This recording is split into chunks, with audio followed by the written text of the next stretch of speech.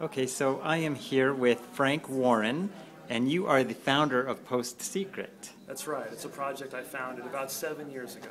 About seven years ago, and really, it's kind of changed your life, hasn't it? It's taken my life and literally turned it upside down. I still get hundreds of secrets every week, and in total, I've received over a half million from all around the world. That's incredible.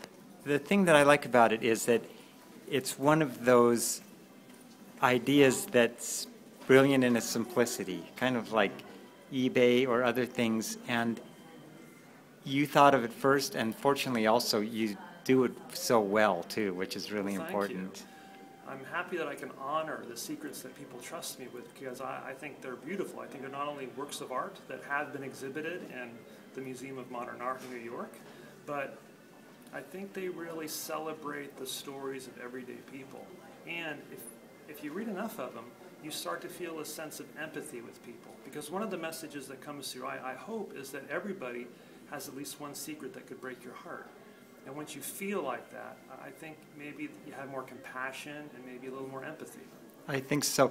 And uh, one, well, there are a lot of things that I find really great about it. One of them is that how clever people are and how how how skilled they are at expressing themselves succinctly and in, a, in an, a, an illuminating way that I don't, you know, most, since I'm a professional journalist, I look at a lot of people's writings and I, I, you know, I think, oh, they're not very good writers. But somehow when people are confessing secrets on a postcard, they're just like po- poetry. I agree with you. I think part of it is the limited nature of a postcard, just six inches by four inches that fits your full feeling and secret in there.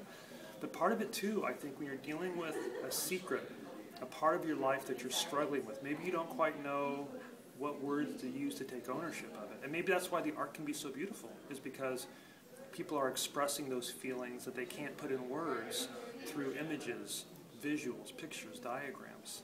I think of it as, as punk art, people's art, and I think it shows how creative people can be. Yeah, well, a lot of it reminds me of the mail art from the 80s, Absolutely. back when I was a zinester. Well, I was inspired too by Davy Rothbart and Found magazine. Oh, cool, cool. I, I'm sure you've answered this question a lot, but can you tell me when the idea hit you to do this?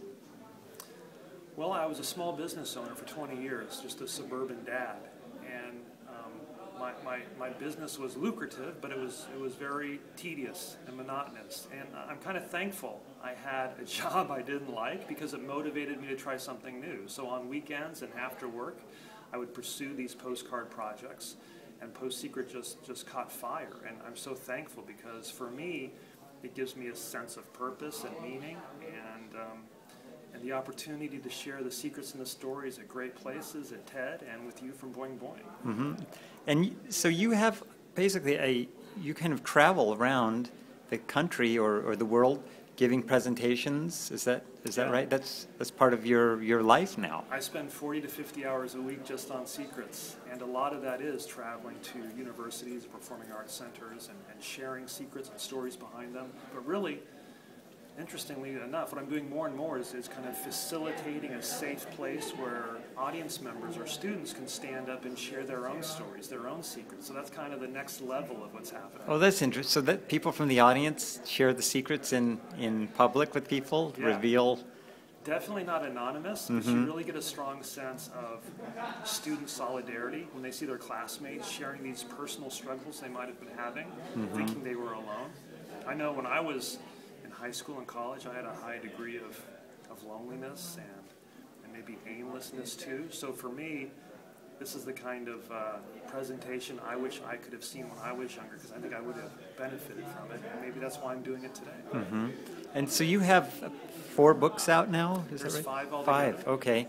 And, and so we can just expect one every couple of years, it sounds like. Well, we, we're, we're talking about an ebook now, and there's mm-hmm. also the idea of taking secrets that were created from the Post Secret app and putting them in book form as well. Oh, that sounds fantastic. Yeah, there's something about secrets that seems to be inexhaustible. Yeah, absolutely. Well, thank you so much. The website is postsecret.com. Thank you, Mark.